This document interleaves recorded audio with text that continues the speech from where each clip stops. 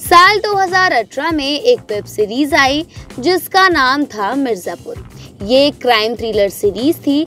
ऐसा नहीं था कि इससे पहले कभी इस जॉनर की कोई सीरीज़ ना आई हो, लेकिन मिर्जापुर ने ओटीटी की दुनिया में तहलका मचा दिया। मेकर्स ने कभी भी नहीं सोचा होगा कि कालीन भैया, गुड्डू, बबलू और मुन्ना का किरदार इतना बड़ा हो जाएगा। लोग कुछ दिनों तक इस सीरीज़ के नशों में रहे, कट्टर फ़ैन बेस बन गया और फिर इसका दूसरा और तीसरा सीज़न भी आया। अब दिवाली से ठीक पहले मेकर्स ने बहुत बड़ा बम फोड़ा है।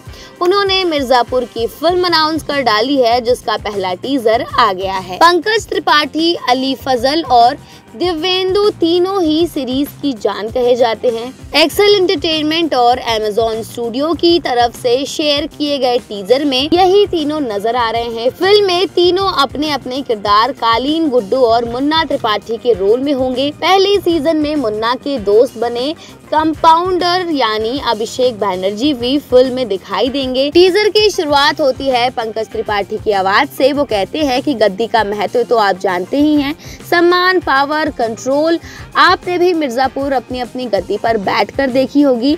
लेकिन इस बार गद्दी से नहीं उठे तो रिस्क है। इसके बाद स्क्रीन पर अली आते हैं और अपने किरदार गुड्डू के गेटअप में कहते हैं कि सही बोले कालिन भैया रिक्स लेना हमारी यूएसपी है। अब जो है सारा खेल बदल दिए है। क्या है कि अब मिर्जापुर आपके पास नहीं आएगा, आपको मिर्जापुर के पास आना पड़ेगा। फिर होती है मुन्ना भैया की एंट्री जो किसी सिनेमा हॉल के बालकनी में खड़े हुए कहते हैं कि हिंदी फ़िल्म के हीरो है हम बे।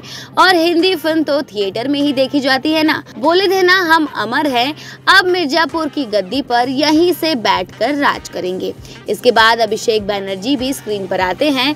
अंत में पंकज त्रिपाठी का किरदार कहता है कि अब भौकाल भी बड़ा होगा और पर्दा भी। बाकी अब ये देखना दिलचस्प होगा कि मेकर्स इस कहानी को तीन से साढ़े तीन घंटे में कैसे समेटते हैं।